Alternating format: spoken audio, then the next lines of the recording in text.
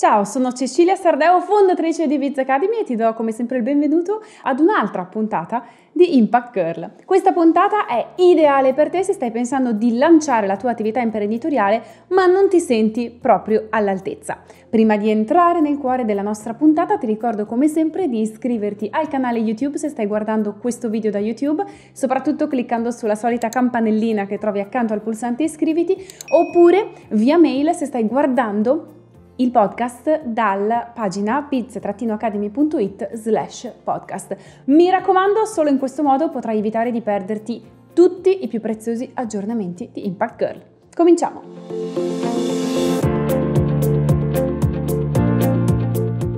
Benvenuti ad una nuovissima puntata di Impact Girl, il podcast italiano dedicato alla crescita professionale tutta al femminile. Oggi ragazze scopriremo che imprenditrici si diventa e andremo a sfatare il mito secondo il quale noi donne non siamo fatte per questo mondo. Lo faremo insieme a Margherita Pagani, fondatrice di Impact On. Ciao Margherita e benvenuta. Grazie mille Cecilia, è un piacere mio essere qui.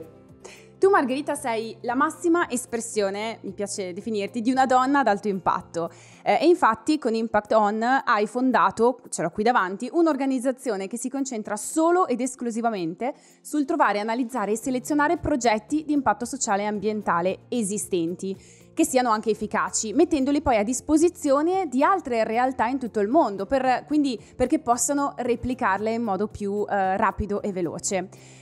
E la tua intu- intuizione è funzionata al punto che nel 2018 finisci eh, niente di meno che tra gli italiani under 30 di maggior talento, gli italiani under 30 di maggior talento su Forbes. Però il tuo background è, molto variegato, tu hai giocato a pallavolo credo a livelli notevoli, hai studiato arte, ehm, non sei quindi partita forse con quest'idea di eh, diventare un'imprenditrice no? da, da quando avevi 5 anni, è un'idea che è arrivata nel tempo. E quindi eh, aiutaci a capire da dove sei partita, che domande ti sei fatta e in maniera tale che chi ci sta ascoltando e sta pensando vorrei partire ma non so da dove possa avere una sorta di GPS.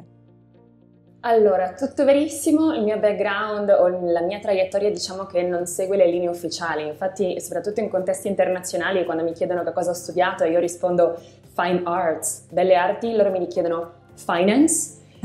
Eh, no, no, no, fine art. Actually, ho veramente, ho veramente studiato a Belle Arti a Brera, ho, ho giocato a pallavolo fino in B1, ho giocato 12 anni e definitivamente non arrivo da una famiglia dove il fare impresa o l'essere imprenditori sia mai stato un riferimento particolare.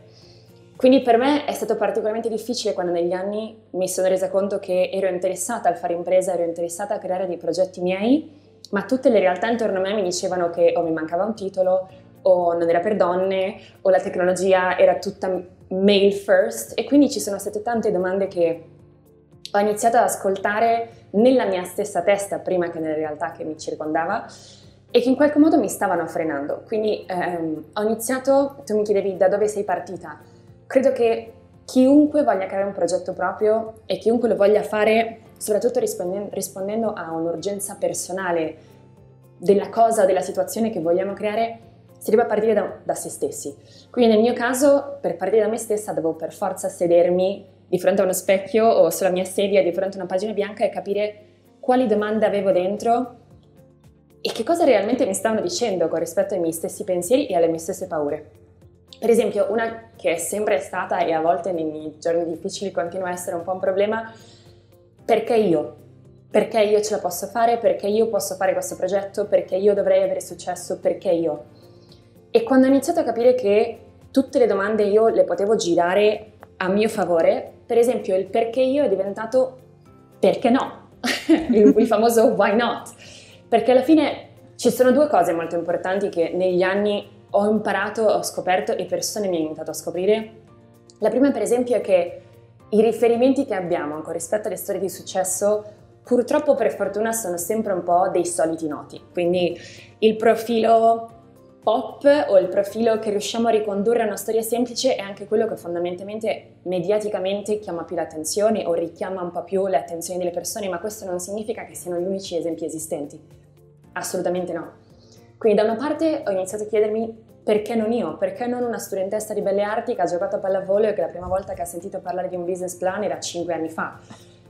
E, e ha sentito parlare di un business plan e la prima cosa che ha chiesto è perché fate questa cosa? Non è più importante andare a parlare con le persone sul territorio a capire se quello che si vuole fare veramente ha un senso, invece di passare 37 pagine di un documento a un finanziatore.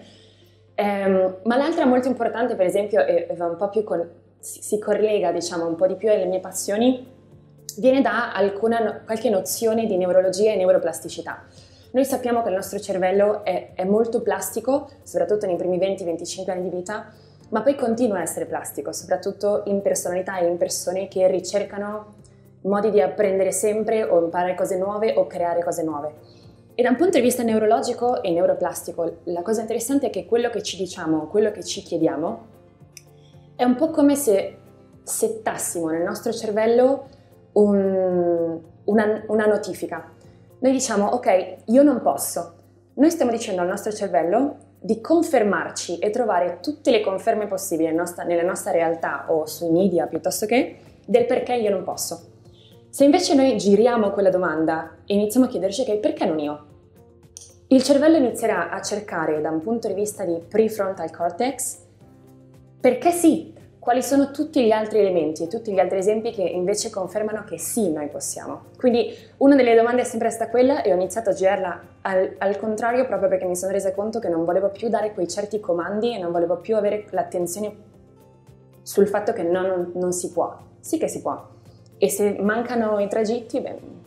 spianeremo quello che ci sarà da spianare per creare quei, quei cammini. Mi piace diciamo. moltissimo questa, questa, questo cambio di prospettiva che mi fa venire in mente come eh, la mente non faccia distinzione fra quello che eh, è reale e quello che è immaginato, quindi che è un po' quello che, che, ci, che ci, stavi dicendo eh, pochi secondi fa, per cui le reazioni chimiche sono le stesse, ehm, sta a noi poi decidere se vogliamo crogiolarci nella, nell'idea che possiamo farcela o piangerci addosso e affondare nell'idea che invece non siamo portate per riuscirci. E in effetti senza queste fondamenta non, c'è finanziatore o business plan, immagino che, che possa tenere. Esattamente, oppure sì, però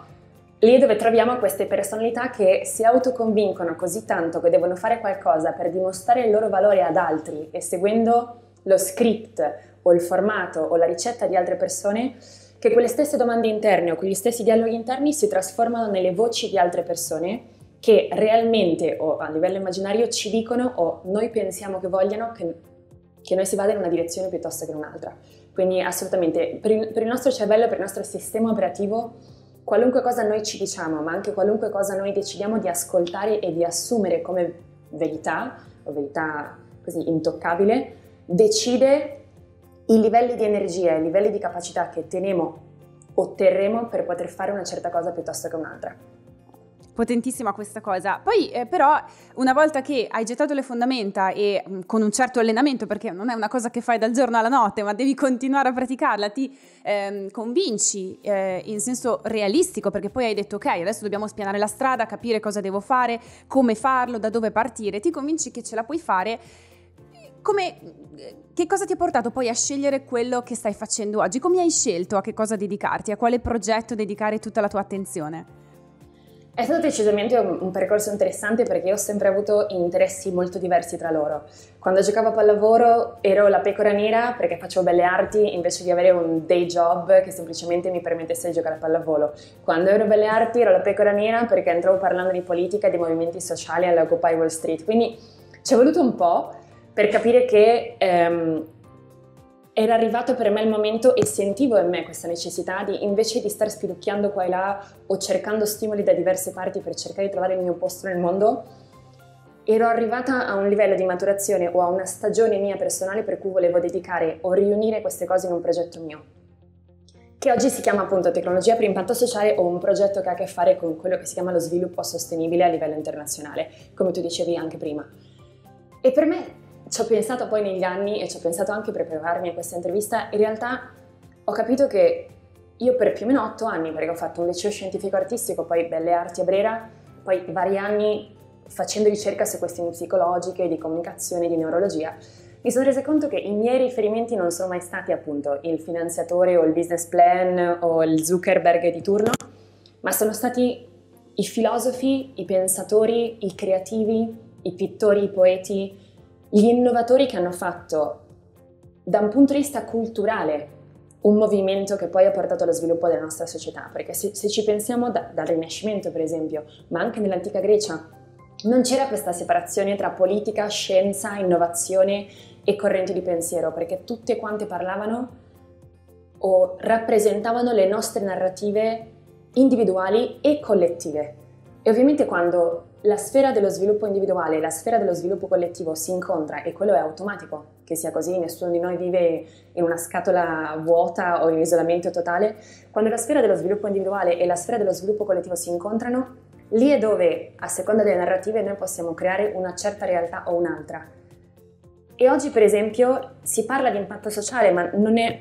nulla di diverso realmente. Stiamo parlando di quali sono i diritti di un individuo, quali sono le capacità o gli strumenti che noi diamo a disposizione a tutti gli individui del mondo, per esempio, quasi fosse appunto un diritto umano, e quali sono le narrative di successo collettive alle quali stiamo puntando. Di nuovo, ai nostri cervelli cosa stiamo dicendo che è possibile o impossibile? Stiamo dicendo che per avere successo bisogna fare terra bruciata intorno a noi in modo tale che nessuno ci possa minacciare o nessuno ci possa contrastare o competere con noi o stiamo cercando di creare una realtà dove veramente la prosperità possa essere condivisa, dove certi sistemi verticali e di sfruttamento dell'altro abbiamo capito che già non ci servono più. E quindi oggi io mi dedico a qualcosa di impatto sociale perché la mia più grande passione è questa. Cosa succede quando la sfera individuale incontra quella collettiva? Cosa, cosa c'è lì in mezzo e quali sono i nostri modelli di riferimento? Per quello Impact On, come dicevi tu, è, questo, è questa libreria, o a volte quando parlo in italiano dico questo giallo zafferano delle ricette di impatto. Invece di essere ricette di cibo che noi possiamo cucinare a modo nostro e dandogli il nostro touch personale in tutto il mondo, sono ricette di impatto sociale che hanno bisogno assolutamente del nostro contributo, della nostra prospettiva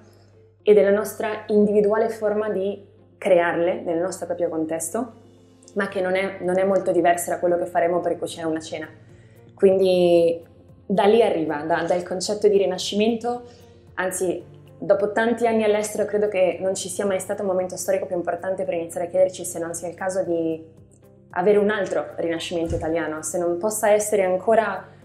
la nostra bella Italia o il nostro Sud Europa a sollevarsi e alzarsi da queste da questi tempi abbastanza oscuri da un punto di vista intellettuale e culturale e dire qualcos'altro è possibile, esattamente come i nostri ancestors hanno fatto quando il, fondamentalmente l'Italia e l'Europa era decimata dalla, eh, dalle piaghe. Quindi mi sembra che sia lì un po' dove, dove io ritrovo le radici del perché faccio quello che faccio. Quindi sei partita chiedendoti perché non io? Poi hai proseguito con, ok, che cosa, che cosa posso fare? Da dove sei partita una volta che era chiaro quello che potevi fare? Allora, sono partita, eh, la mia più grande difficoltà è stato, fa- è stato, il fatto che quando ho iniziato a capire che lo volevo fare non sentivo in Italia la possibilità o lo spazio per farlo. Ovviamente, guardandolo in prospettiva, bisogna ricordarci che nel 2011-2012 l'Italia era nel suo peggior momento dopo i, i colpi della crisi economica, quindi non è una questione né del mio essere donna né del mio, nel contesto italiano ci sono molti fattori che hanno giocato a favore o contro questa mia prospettiva. Quindi la prima cosa che ho fatto per me e che ho sentito importante era trovare il modo di distanziarmi da un contesto in cui sentivo di non poter pensare in modo sano. Amo l'Italia, sono italiana, tutto quello che faccio lo faccio chiaramente dalle mie radici italianissime, anche, quando, anche se all'estero pensano sempre che io sia olandese, eh, altissima, bionda, giraffa. Ehm, quindi nel mio caso è stata veramente la necessità di, di, trovare uno spazio dove io potessi pensare in modo un po' più sano, quindi prendere delle distanze da quelle che io sentivo delle, come, come, pressioni o come eh, domande o richieste o esigenze dall'esterno per poter trovare la mia propria voce in tutto quel gran coro di voci che sentiamo sempre nella nostra testa. Nel mio caso sono andata in Latino America. Eh, la mia storia include quasi 5 anni in Latino America a partire dal 2014, quindi ho iniziato a cercare non solo quello spazio più sano e diverso, stimolante anche e assolutamente una sfida, perché comunque stiamo parlando di un contesto molto diverso da quello europeo, e iniziare a trovare riferimenti diversi. Io non avevo esempi di qualcuno che ce l'avesse fatta senza seguire, diciamo, il, il sentiero comune o il sentiero che, di cui tutti sentiamo parlare. Quindi non, non potevo rimanere in un contesto dove l'unica narrativa possibile o l'unica conversazione che si potesse avere dovesse per forza essere quella. Quindi beh, possiamo dire che poi questi viaggi sono stati un catalizzatore per lo sviluppo del tuo progetto, anche perché ti hanno dato la possibilità di vedere ehm, delle, dei progetti di impatto sociale e ambientale esistenti e da lì poi eh, l'idea di replicarli altrove o come, come, è nato poi tutta l'idea di ehm, scalabilità del progetto, ecco. Ah, que- quella storia ha molto a che fare con l'Italia in realtà, perché io ho iniziato a pensare a questa cosa dei blueprint o delle ricette di impatto sociale che altri potessero usare in qualunque parte del mondo tra il 2015 e il 2016. Io ero in Cile, quindi ero già in Latino America, stavo già eh, dicendo a me stessa, ok, andiamo, andiamo, a toglierci questa sete di curiosità, andiamo a vedere altre realtà anche locali, a mio proprio rischio e pericolo, perché non avevo nessun tipo di di rete o nessun tipo di, diciamo, di materasso sul, cui, sul, quale cadere in Cile o in Latino America. Eh, nel 2015 per me è stato un po' un momento, c'è un prima e c'è un dopo per me, perché nel 2015 noi come Europa e come Italia abbiamo iniziato a vedere la crisi rifugiati, quindi una, una probabilmente delle crisi umanitarie più importanti e più pesanti del, degli ultimi anni, arrivare alle nostre spiagge, arrivare a casa nostra e ci siamo dovuti scontrare, e soprattutto la nostra generazione di millennial, con l'ennesima e forse definitiva conferma dell'incapacità istituzionale di rispondere a questo tipo di crisi in modo onorevole. Perché non sto dicendo che non ci siano stati tentativi, non sto dicendo che non ci, stati, non ci siano stati migliaia di persone, di europei, che hanno voluto prendere un certo tipo di posizione in Europa, però fondamentalmente da un punto di vista di prospettiva più ampia abbiamo fallito e continuiamo a fallire e non, e non, perché non ci interessa, ma forse per l'incapacità di, di, vedere che gli strumenti che stiamo usando non sono più quelli corretti o i più efficaci. Quindi nel 2015, quando ero letteralmente in uno dei paesi più lontani possibili dall'Italia, perché il Cile è più o meno a 15.000 km, ehm, ho iniziato a vedere l'Europa crollare sotto il peso di questa crisi e ho sentito un richiamo personale molto importante con, con il tornare a casa, Ripeto, io non ho un background in scienze sociali, non ho fatto scienze politiche internazionali, quindi nessuna ONG o nessuna fondazione o nessun corpo delle Nazioni Unite mi avrebbe presa come volontaria. Con gli anni ho scoperto che in realtà questo ha giocato in mio favore, perché come volontaria ti permettono di stare solo tre settimane in un certo territorio, quindi nel momento in cui ti rendi conto di cos'è che non è fatto bene, ti chiedono di andartene. Quindi in realtà la mia indipendenza o il voler fare le cose un po' più a modo mio, a parte essere un po' un, un un filo conduttore di tutta la mia vita, si è, si è confermato essere un, una cosa che ha giocato a mio vantaggio. Quindi nel 2015, quando ho iniziato ad avere questa grande urgenza, ho deciso di tornare in Europa. Sono stata in Grecia, sono stata alla frontiera tra la Grecia e i Balcani o Firo, la ex Macedonia, e sono stata poi in Italia per cercare di capire perché tante persone volessero fare qualcosa per questa crisi e volessero onestamente essere porto sicuro per queste persone e perché non, non ce la si non c- veramente non ce, sta, non ce la stiamo facendo. E da lì, era soprattutto in Grecia, era il giorno del mio compleanno, mi ricordo, meno tre ai domeni, eh, un gran casino internazionale per la questione eh, della Germania, quando Angela Merkel ha deciso di ritrattare sulla questione del programma per rifugiati. Mi ricordo che alcuni dei cittadini locali dei, dei villaggi e dei paesini che sono vicino alla frontiera con la ex Macedonia avevano iniziato a chiedermi ero riconosciuta come una ragazza del Latino America, avevano iniziato a chiedermi se ci fossero dei progetti che io conoscevo del Latino America che stessero funzionando in favelas o in settlement, quindi in contesti vulnerabili, che si potessero semplicemente replicare e adattare lì dove erano loro. E mi ricordo chiedere perché, perché non possiamo creare qualcosa noi? E la loro risposta è stata perché è tutto così pesante e complesso che non possiamo pensare. Quindi poter contare su un modello o un blueprint o una ricetta, come oggi lo, chiamo, lo chiamiamo noi Impact On, ci permetterebbe quell'aspetto del, di passaggio e di sblocco dal non posso, non so come fare, non so come iniziare, al sì posso, capisco questa ricetta, immediatamente vedo come lo posso fare nel mio proprio territorio. Eh, quindi lì tra la fine del 2015 e il 2016 eh, è stato per me un po', un po' un momento di epifania dove ho capito che forse quelle narrative intellettuali, filosofiche e veramente di sviluppo individuale e collettivo, oggi uno dei formati che si potrebbero usare sono anche di progetti dove le persone si possano ritrovare non solo con tutte le capacità per rispondere alle sfide che vedono intorno a loro, ma capire che lo possono fare anche meglio e in modo ancora più efficace delle ricette che hanno avuto come riferimento. Diventa quasi una sorta di gara virtuosa, ok? Io prendo il tuo, il tuo modello, però, però, provo a farlo meglio. Bellissimo questo, perché una delle domande che avevo per te era proprio eh, se ehm, la, l'idea di proporre dei modelli da altri paesi eh, fosse magari stata accolta con un certo scetticismo da quelli in cui venivano portati, della serie ah, ha funzionato per loro, ma per noi, per tutta una serie di ragioni, non può funzionare. Quindi se avessi eh, fatto i conti con un, atteggi- un atteggiamento un po' fatalista, ma invece sono stati loro stessi a proporti, a farti questa domanda. In quel caso sì, sicuramente. In, in realtà uno del, dei miei timori principali quando ho iniziato a fare questo progetto è proprio il fatto che da ambedue le parti ci potessero essere delle resistenze. Da una parte perché dovrei condividere il mio progetto con qualcuno in un altro territorio, quindi un po' il modello egolatra o egocentrico che conosciamo da un punto di vista prettamente imprenditoriale nel senso negativo, l'imprenditoria non è negativa di per sé ovviamente. E dall'altra perché dovrei usare una ricetta che arriva dal Messico e io sono in Vietnam. Quindi in realtà quelli erano timori che anche da un punto di vista puramente sociologico, psicologico io sicuramente avevo che però in realtà si sono rivelate non così forti come io magari mi aspettavo. Mi sono chiesta e credo che mi chiedo al giorno d'oggi quale sia il cambio forse di coscienza che, a, a cui stiamo, in qualche modo, che ci stiamo trovando davanti, perché sicuramente chi ha creato un progetto e magari ha investito 3, 5, 10 anni in quel progetto sicuramente vuole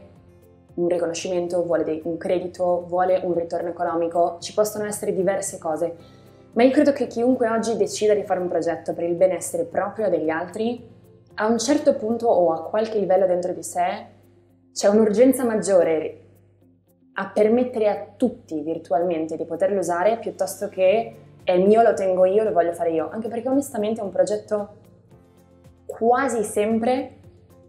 non può scalare da una località a tutte le località dove è necessario, soprattutto se stiamo parlando di impatto sociale perché la struttura di costi, perché logistica, perché culture diverse, perché lingua diversa. Quindi credo che ci sia un click interno che stiamo avendo a livello collettivo rispetto al fatto di dire ok, questa cosa funziona per me, questa ricetta mi è piaciuta, lo facciamo tutti con la questione del cibo, lo facciamo tutti con la questione di pratiche, di benessere. Se ha fatto bene a me fondamentalmente e in fondo a me vorrei che facesse bene dagli altri. Chiaramente se si, può, se, se si può trovare un win-win è meglio, però credo che quello è un po' il gran cambio collettivo a cui, a cui stiamo arrivando da un punto di vista proprio filosofico quasi. Al quale siamo finalmente pronti, verrebbe da dire. Ascolta Margherita, tu hai, hai, mi dicevi che non hai chiesto finanziamenti, quindi eh, la domanda mi sorge spontanea, come, come, con che risorse sei partita, come le hai trovate e come le continui a trovare?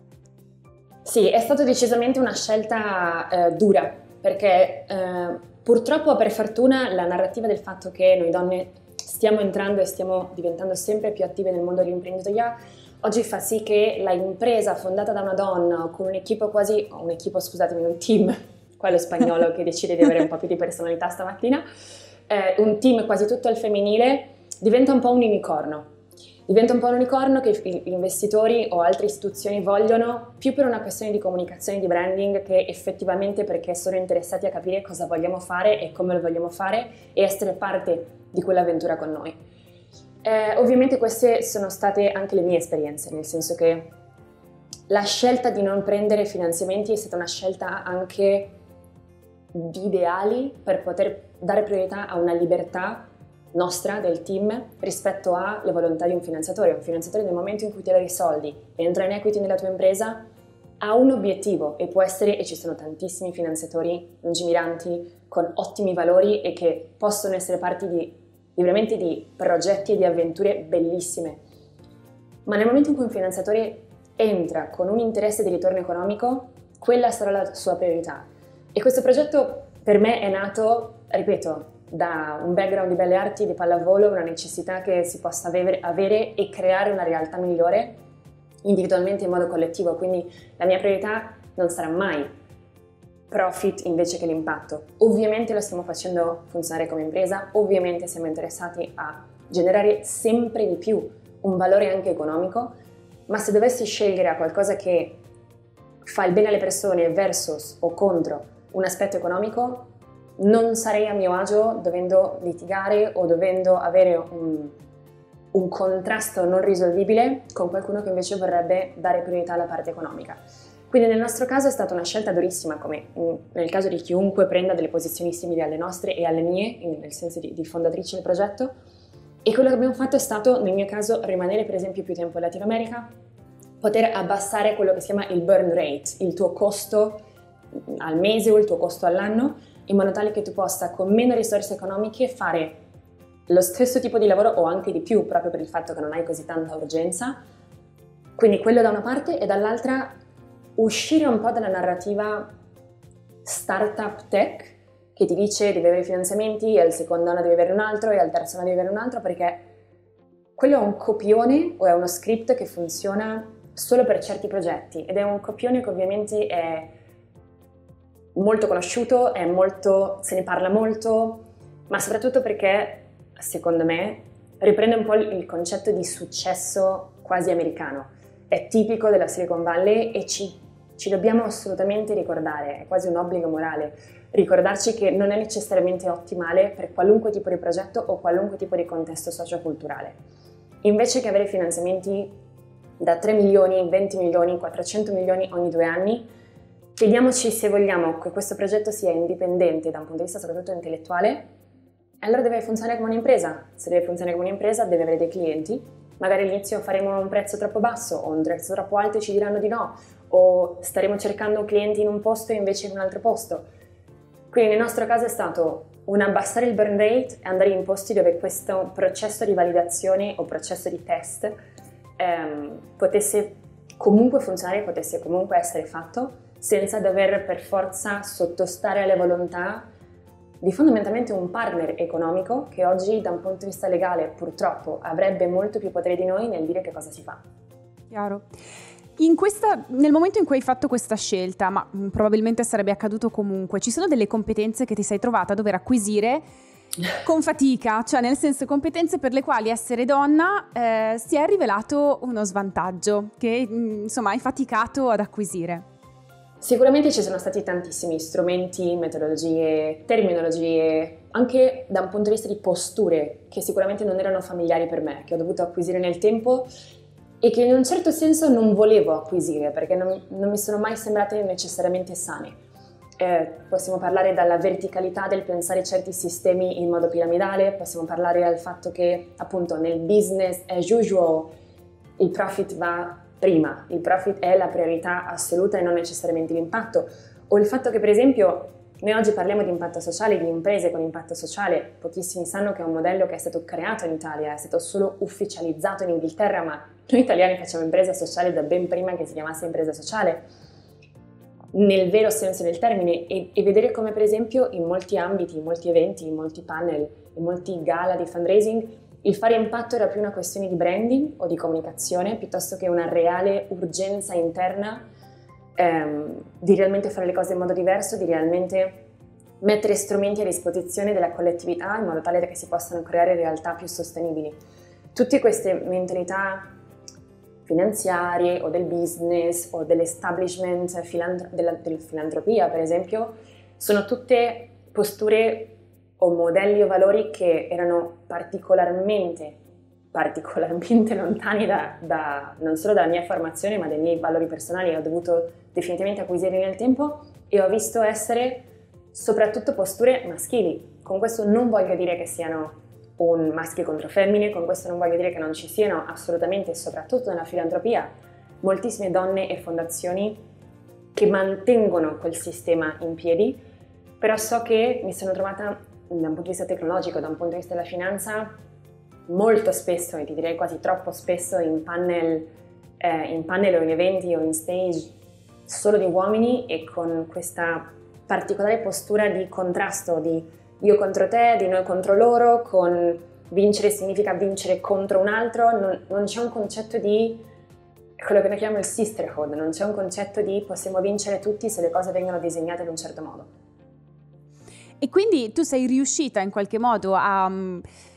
ad acquisire, quest- o più che ad acquisire, a conoscere, ecco, quello che eh, appunto era un mondo di cui non necessariamente condividevi le dinamiche ed è stata quella conoscenza, giusto? Condividevi come prima della registrazione che ti ha permesso poi di proporre un modello alternativo, giusto? Sì, per me allora, devo, devo assolutamente fare una menzione del fatto che tutti noi o tutte noi nel momento in cui decidiamo fare un percorso di questo tipo bisogna per forza aspettarci che ci scontreremo con qualche parete, nel senso che nel mio caso non è stato facile capire che quelle erano le regole del gioco, che quelli erano i valori di base, che quel sistema era costruito con solo quei valori e qualunque voce esterna normalmente veniva allontanata o spenta. Quindi per me sì, è stato importante arrivare al punto, ok, voglio imparare veramente come funzionano queste regole del gioco, ma quel momento è venuto dopo un gran,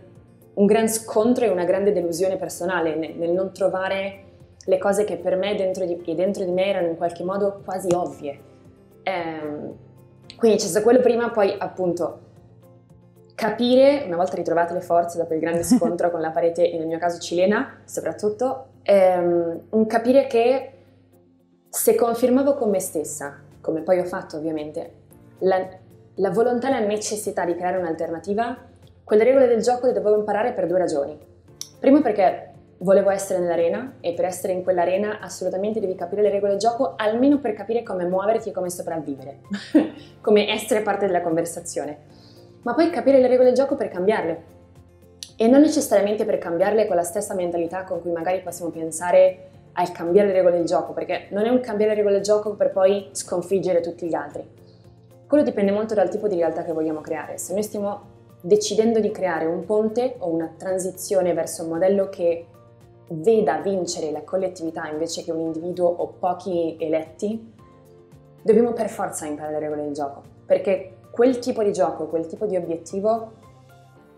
avrà bisogno di creare un'alternativa dove quelle stesse persone sono coinvolte. Quindi imparare le regole del gioco è quasi come imparare una lingua nuova, è capire come avere la conversazione, come comunque sederci allo stesso tavolo, come comunque avere quel tipo di confronti, però da, da un punto di vista di confronto non distruttivo, un confronto che viene da, un,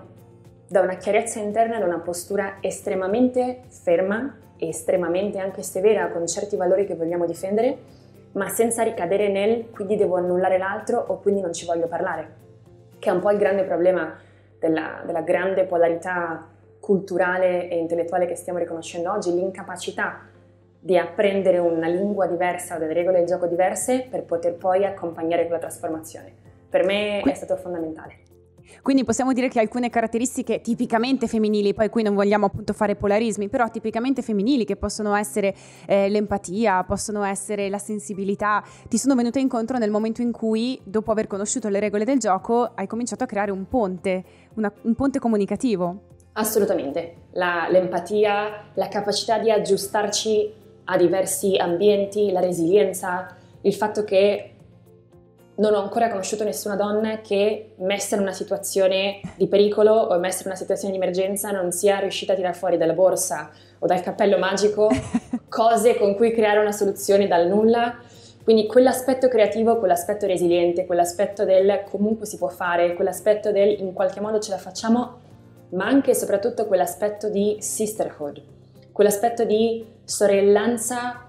veramente unica che chiaramente ha il suo alto e il suo basso, no? Come sempre, come noi donne possiamo essere veramente imbattibili quando ci uniamo, possiamo anche essere estremamente crudeli quando decidiamo di essere una contro l'altra. Tut, nessun estremo è buono e tutto quello che ha una, una potenzialità per qualcosa di molto luminoso, molto positivo, chiaramente può essere molto negativo se viene gestito male. E da un punto di vista di donne credo che noi non così spesso come mi piacerebbe riconosciamo a noi stesse questa capacità di essere resilienti e creative in un modo unico che se oltretutto lo sommiamo al fatto che possiamo esserlo insieme e fare fronte comune in un modo unico che non conosce cultura, non conosce frontiere e non conosce nessun tipo di barriere, quello è il tipo di forza che ho automaticamente incontrato nelle mie vene e che so che tutte le ascoltatrici in questo momento che ci stanno ascoltando assolutamente hanno e assolutamente possono usare e che gioca a nostro vantaggio. Questo pensiero ti, ti aiuta anche a mm, così, uh, ritrovare la motivazione quando le cose non vanno come previsto? Sì, ovviamente sì, nel senso che eh, anche qua, le narrative che dicono che i vincitori non, non, hanno mai dei punti bassi nel loro percorso o non inciampano mai, non è assolutamente vero. Credo che da qualche anno finalmente si parli un po' di più di, del fatto che i fallimenti, gli errori e le scivolate sono parte del percorso. Credo che noi donne siamo particolarmente brave in essere dure con noi stesse, forse perché la realtà è sempre stata dura con noi stesse da vari millenni e quindi non riusciamo ancora a distinguere le due cose e ad avere una postura un po' più amorevole nel mio caso, oltretutto allenata come appunto atleta professionista, è stato particolarmente difficile allenarmi invece nel, nell'essere un po' più morbida, nell'essere un po' più appunto amorevole e gentile con me stessa. Però sicuramente nei miei momenti o nelle mie giornate un po' più buie, quando cammino con questa nube nera in testa e ovviamente si vede benissimo quando sono in questo tipo di situazioni o momenti, questa resilienza, questa sorellanza e questa il ricordarmi quante volte io con altri, con altre e grazie a altre e altre sono riuscita a sollevarmi e rialzarmi è sicuramente un aspetto molto importante perché a volte ci dimentichiamo che non... Credo che Lady Gaga ultimamente l'abbia detto, non è necessariamente quante volte cadi ma è quante volte ti rialzi, giusto? Giustissimo. Hai anche una, un suggerimento pratico da mettere nella cassetta degli attrezzi per, che ti senti di dare, soprattutto alle donne imprenditrici o aspiranti tali, eh, quando le cose non vanno come previsto? Sicuramente, sicuramente. Io credo che nessun progetto creativo e imprenditoriale esista senza che ci siano intoppi, resistenze, rifiuti e dei grandi no che a volte bruciano tanto, perché a volte arrivano veramente da realtà o da persone che non ti aspettavi avrebbero avuto o avrebbero assunto una certa postura. C'è un concetto molto importante che io ho trovato particolarmente potente, soprattutto nella mia vita, che si può ritrovare in diversi nomi o in diversi modi eh, nelle varie correnti spirituali o intellettuali o filosofiche del mondo e che in italiano potremmo racchiudere con il concetto di pausa. La capacità di mettere una pausa, quindi di aprire uno spazio di vuoto apparente o di calma tra un'azione o un evento o un sentimento che stiamo avendo e la nostra reazione rispetto a questo è veramente creare uno spazio dove magic can happen, dove possiamo creare qual- qualunque tipo di realtà e qualunque tipo di risposta che realmente ha a che fare con i nostri valori o che realmente li rispecchia. Eh, nel mio caso ovviamente è stato e continua a essere ehm, la pausa qualcosa che pratico e che in qualche modo è diventato un allenamento quasi quotidiano, che dove lo posso applicare in modo tale da diventare sempre migliore. Eh, può essere quando ricevo un no, quando ricevo una brutta notizia, quando un'application mi dicono non sono stata scelta, quando, quando non mi sento bene e qualcuno mi dice qualcosa che tocca esattamente il nervo scoperto o il, bottone sensibile di quel giorno e chiaramente il tipo di reazione, ma di qualunque persona, non solo di qualunque donna, sarebbe una reazione brusca o una reazione aggressiva o una reazione triste o una reazione da un, diciamo, from a place of hurt, da un, da un posto o da una postura di ferita o di, o di dolore. Quindi creare quella pausa, che nel mio caso per esempio eh, mi aiuta moltissimo la scrittura, mi aiuta moltissimo imparare diverse tecniche di respirazione, mi aiuta moltissimo eh, uscire, la, io ho, un, ho, una passione, ho una connessione incredibile con la natura, quindi anche solo uscire a fare quattro passi e guardare alberi, in qualunque città del mondo, in qualunque posto del mondo si può trovare un angolino verde con cui riconnetterci al nostro essere human first, prima di qualunque altra cosa. Quindi realmente il concetto di pausa è qualcosa che non solo si può esplorare in modi diversi, ma si può praticare o, o diciamo mettere a disposizione la nostra vita in modo molto diverso e proprio, in un modo che fa bene a noi. Alcune potrebbero dire bere un bicchiere d'acqua o fare yoga. In inglese diremmo whatever works, qualunque modo, in qualunque modo funzioni, se funziona per te, usalo. Fantastico Meg. Ultima domanda, qual è la donna che, dovrei, che dovrei intervistare dopo di te secondo te? Uh, questa è una domanda che mi hai fatto in preparazione alla nostra puntata ed è stata veramente difficilissima. Ho ho l'onore e il piacere di essere accompagnata da moltissime donne incredibili. Credo che la mia nomina oggi vada a Marta Ghiglioni, che è una ragazza giovanissima che ho l'onore di chiamare amica,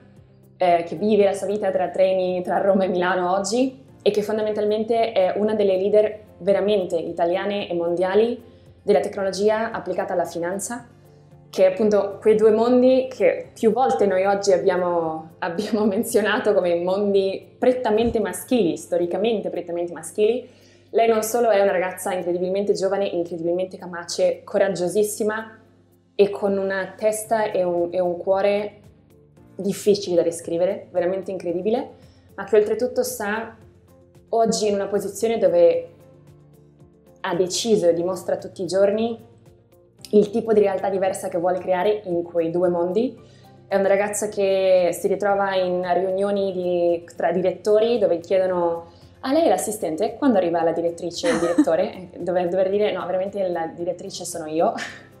Quindi non wow. farò nessuno spoiler con rispetto alle cose che sta facendo oggi, perché decisamente credo che lei sia la ragazza che dovrebbe essere la tua prossima ospite.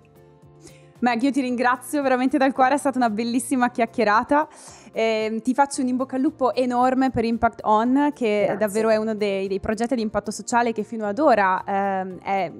ha, ha maggiore impatto sociale ed ambientale che fino ad ora abbiamo avuto l'onore di, di ospitare ad Impact Girl. Ragazze eh, che siete in ascolto, vi ricordo che trovate tutti i riferimenti per eh, esplorare e approfondire quello che fa Margherita all'interno del blog post dedicato alla puntata, quindi sia che lo stiate guardando, sia che, eh, lo stiate, che, sia che mm, eh, abbiate deciso di ascoltare l'episodio, troverete tutti i dettagli eh, nella parte descrittiva testuale. E vi ricordo anche che lì troverete il minutaggio preciso di tutti i punti che abbiamo approfondito oggi, così che possiate recuperare subito quello che vi interessa senza perdere altro altro tempo. Naturalmente condividete nello spazio dedicato ai commenti la parte che vi ha colpito di più. Io vi, un, vi do un grandissimo abbraccio e Margherita ti mando un super bacio virtuale. Un abbraccio a vos, come diremmo in Latino America.